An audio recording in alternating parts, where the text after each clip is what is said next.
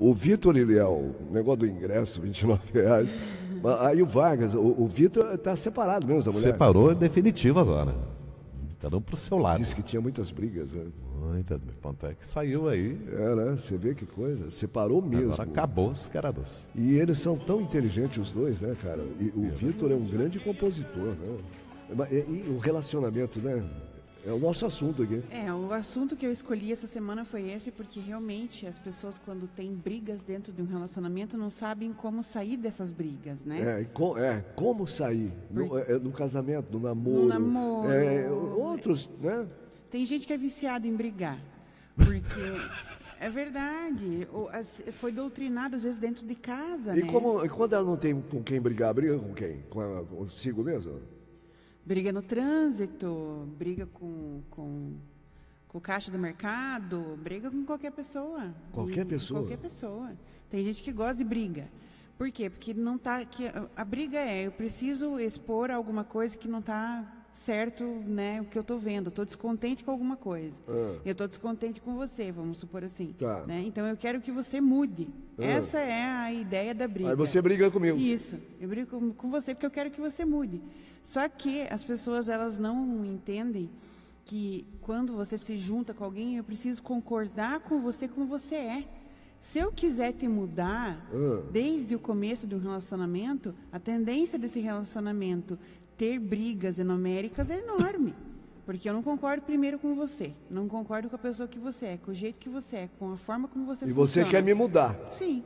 É, eu quero te mudar. Aí eu vou engolir isso no começo, porque que as pessoas pensam, ah, mas no começo a gente não brigava, né? Ah. Mas de verdade, no começo eu não estava olhando para você como você é.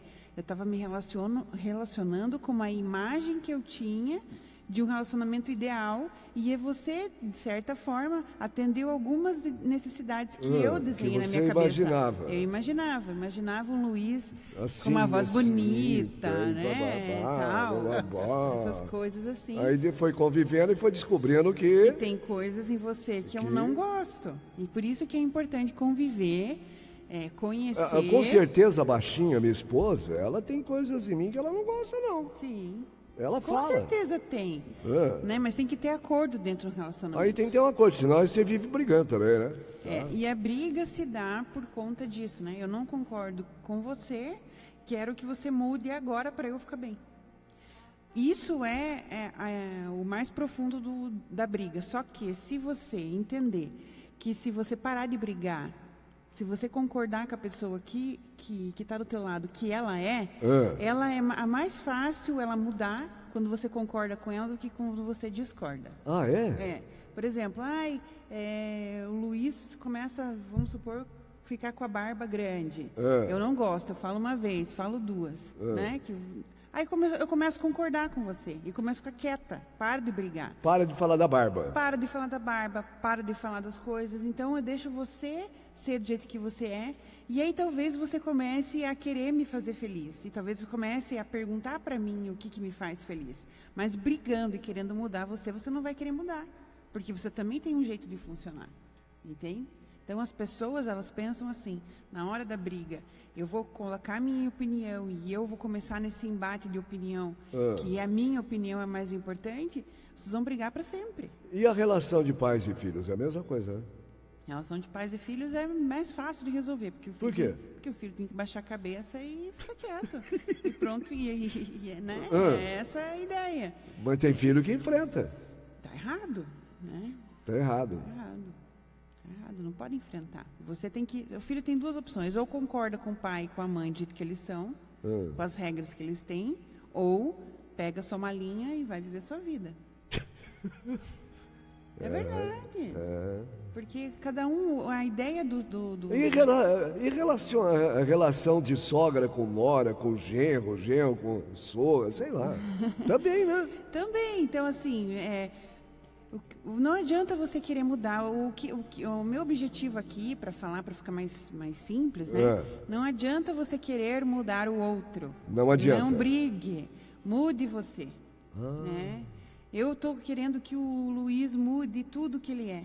Então eu preciso entender, parar e observar se esse homem é o homem que eu quero caminhar do meu, do meu lado. né? Eu tenho que observar se eu quero ficar com você, sem você mudar. Que é essa a ideia. Então, se eu estou dentro de um relacionamento onde tem uma sogra que eu não suporto, eu tenho que começar a entender que a minha sogra não vai mudar, ela é assim faz muito tempo, né? É, é, primeiro, concorde que as pessoas não vão mudar, fica mais fácil. Aí você para de brigar. Ah, primeiro você concorda que, que as pessoas não o vão Vargas mudar. não vai mudar, então eu paro de brigar com ele. Para de brigar com ele. Aceite. Aceite, Aceite que dói menos. Dê É, um lugar para o. Vargas do jeito que ele é, É. entende? E aí você pode ser quem você é sem precisar que o outro seja também. Ou precisar que o outro eh, faça coisas para te agradar. Faça você coisas que são boas para você. De repente o Vargas começa a olhar para você e fala, nossa, a Elisa é tão bacana, olha que legal que ela faz. Eu quero imitar a Elisa, né? Ou na hora de uma briga, você vem brigar comigo porque você está estressado e eu não quero brigar, Briga é uma decisão, eu não quero brigar. Eu vou ficar quieta. Aí você vai se arrepender, você vai ficar triste porque você veio brigar comigo. Então brigar é uma decisão. Lógico. Eu não quero brigar. É, pronto. E eu não preciso dizer para você que eu não quero não, brigar. você não brigue. E a pessoa vai olhar para você e falar, nossa, né? Poxa, Que, que surtada que eu sou. eu Então, surtei é, aqui e ele ficou quieto. É, Ou eu é. surtei aqui e ela ficou quieta. É. E aí você fica muito mais fácil da pessoa é, ver que ela está errada Ah. e mudar aí o comportamento.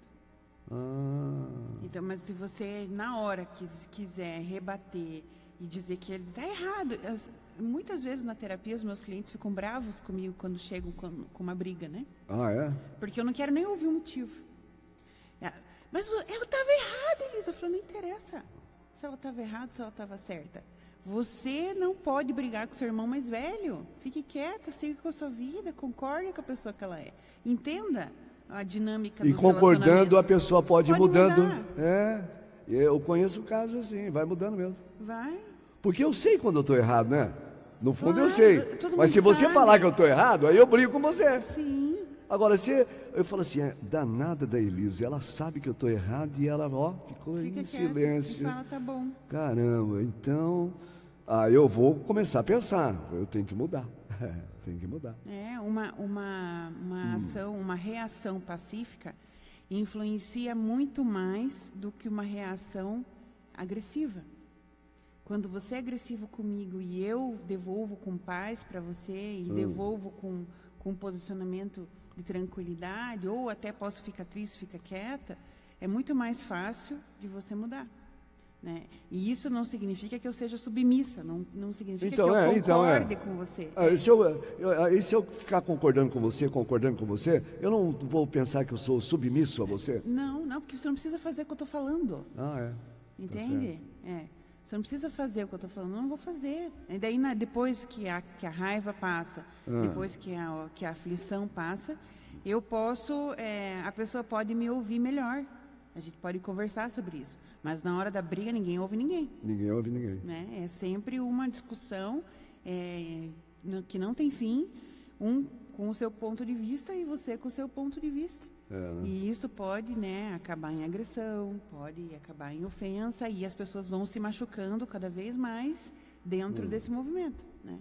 Porque aquele dia você fez isso, falou aquilo para mim. Daí depois briga de novo, ó, você brigou daquela forma, você falou, entende? Daí vira um. Não existe mais relacionamento, as pessoas não se veem mais. Então, para acessar essas brigas incessantes, né, Ah. sendo redundante aqui, é importante as pessoas pararem e observarem o que estão fazendo e se elas realmente querem mudar a pessoa 100% e observar esse relacionamento, se esse relacionamento vale a pena. Você, como terapeuta, eh, você recebe muitas pessoas com esse tipo, Nossa, muita, é mesmo? muito. O tempo inteiro. E você consegue ajudar. Exatamente, dessa forma, né? É, observe, as pessoas precisam ter motivação correta para estar dentro de um relacionamento. Né? É. Aqui eu estou falando de relacionamento de casal. Relacionamento de pais e filhos é outra história. Ah. Mas relacionamento de casal eu preciso ter uma motivação correta. E a motivação correta. Eu quero fazer você feliz e quero construir um futuro com você. Os dois se amam e vivem brigando, né? Como que pode? A, a gente, você já não. Falou, poxa, mas os dois se amam e vivem brigando?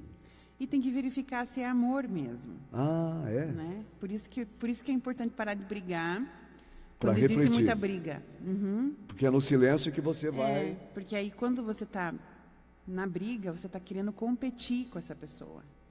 Entende? E às vezes você está nesse relacionamento, e as pessoas não têm nem noção disso, mas é verdade. Às vezes eu estou nesse relacionamento porque eu estou competindo. Porque eu estou medindo força com você. Eu quero ser melhor que você, mas isso não representa que seja amor. Aí já não é mais amor. Talvez nunca tenha sido. Nunca, né? Olha que coisa. Porque amor é tranquilo, né? É, A ideia amor é paz, né? É paz. Eu quero fazer você feliz. Fico feliz em, em proporcionar alegria para você. E isso é o, o que move os dois. E não eu querer mudar você o tempo todo, querer que você faça o que eu quero o tempo todo. Meu Deus. É pra gente refletir, viu? Hã? Olha, eu aprendi muito agora aqui com você. E espero que os ouvintes também tenham aproveitado, né? É verdade, é verdade, né? Porque num relacionamento, né? Saber ouvir é muito importante, né? Ouvir, né? Ouvir o outro e tal. Ouvir, ouvir. Mesmo que você não concorde, ouça, né? Ouça. Dê um O lugar. duro que né? é essa vida tão estressante, né, Elisa? Meu Deus, a gente muitas vezes perde a estribeira, como diz lá em Jacarezinho. Perdi a estribeira. Né? Perde a estribeira e você perde a, A noção, né? oportunidade de ter uma pessoa que pode ter, é, te agregar, né? Porque opiniões diferentes podem trazer para você mais possibilidades. Sua vida pode ser mais fácil com, com uma opinião diferente da tua. E a gente é fechado dentro do nosso movimento de opinião, né? Eu quero, a minha opinião é essa. É, a minha opinião é essa, eu não mudo. é Minha cartilha é essa. Essa é minha cartilha, é você, se quiser ficar comigo. E aí você Olha. não tá pronto, né? Pra ter um relacionamento. Ih, Tem muita gente refletindo aí. Olha, se você quiser continuar com a Elisa Peruso, é, aí fala, mas como que eu faço, ah, meu Deus? A Elisa Peruso está na, na rede social aí, né? Elisa com Z, Peruso com dois Z. Né? Tem, tem, tem site. Tem, tem o site, tem, o Facebook. Tem Facebook, tem o YouTube, tem- no Face também, né? No Face também. Então, é E o pessoal mencionar entra muito ali para. Entra bastante. Entendeu? É. E como você arruma tempo para ficar. Não vai querer também de madrugada, três da manhã, porque É, às vezes a gente fica, né? Mas- fica, né? Querendo ajudar, né? Querendo É, na verdade o objetivo é esse, né? Passar informação. passar informação, né? Fazer gerar essa reflexão, né? Porque a gente tem que parar e muitas vezes as pessoas pensam: "Ah, eu não sou louco, não vou buscar terapia". Não, não é essa a questão. E A gente precisa parar e observar o que a gente está fazendo. É porque se a gente falar, ah, eu estou fazendo uma terapia, aí você tá louco? Não, não tem nada a ver, né? Eu preciso olhar para o meu relacionamento. Eu já fiz terapia, já. Isso é importante. Eu já fiz. É. Eu sugiro Há um que preconceito. todo mundo tenha, né? Um terapeuta Todo, é, direto. ver- é verdade. para É, conversar mesmo. Pra conversar. Né? Para olhar de fora, né, do teu problema, né? Quando você tá, não é assim, quando você tá dando um conselho para um amigo, você tá olhando de fora, não é mais fácil? É mais fácil. Você está de fora olhando, né? Aí você pode ajudar o amigo. E o terapeuta tem essa função, é tirar você daquele movimento cego ali que você tá e puxar você para fora, olha de fora para isso, né? Observe. Olha, vocês podem dar sugestão para Elisa para assuntos aqui, viu, nesse papo aqui. É só entrar na rede social aí da Elisa aí, Elisa Peruso, Elisa com Z, Peruso com dois Z, tá? No YouTube, no Facebook, site, tem tudo. Você pode sugerir, ah, Elisa, fala sobre isso, fala sobre aquilo e tal. E ela acaba ajudando muita gente. Esse é o nosso objetivo, né? Tá bom? Elisa, valeu, tá? Obrigada. Tudo de bom. Até É. quarta-feira. Até quarta.